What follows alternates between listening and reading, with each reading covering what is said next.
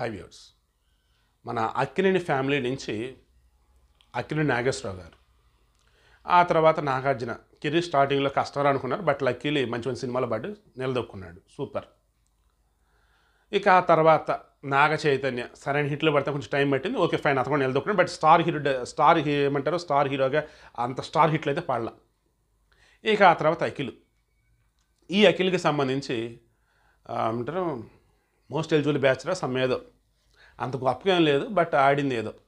చెప్పడానికి అది ఒకటి ఉంది. ఇక మిగతా ఏమీ లేదు అతని కెరీర్లో మన రీసెంట్ ఏజెంట్ అయితే డిజాస్టర్ తర్వాత నాగ చైతన్య మరి సినిమా బాగుంది మరి ఎందుకు పాపం అది కూడా లేదు.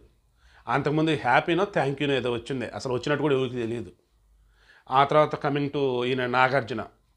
గోస్టా ఏదో సినిమా ఇంకోటి ఏదో వచ్చింది. ఎవరికి ఏం అర్థం కాదు అసలు అవి అవి ఇవి అంతే. అంటే మీరు అబ్జర్వ్ చేయండి.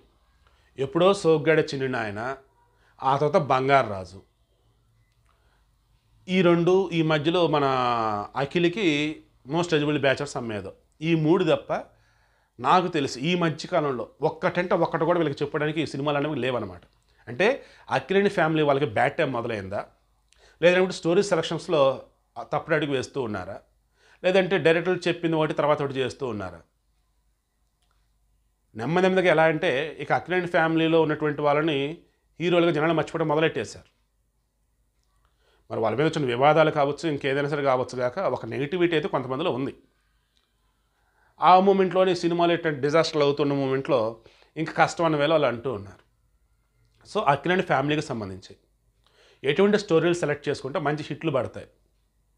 నాగ చైతన్య అయినా మన అఖిలైనా తర్వాత మన నాగార్జున అయినా మీకేమనిపిస్తుంది? వాళ్ళ టైం అయిపోయిందా?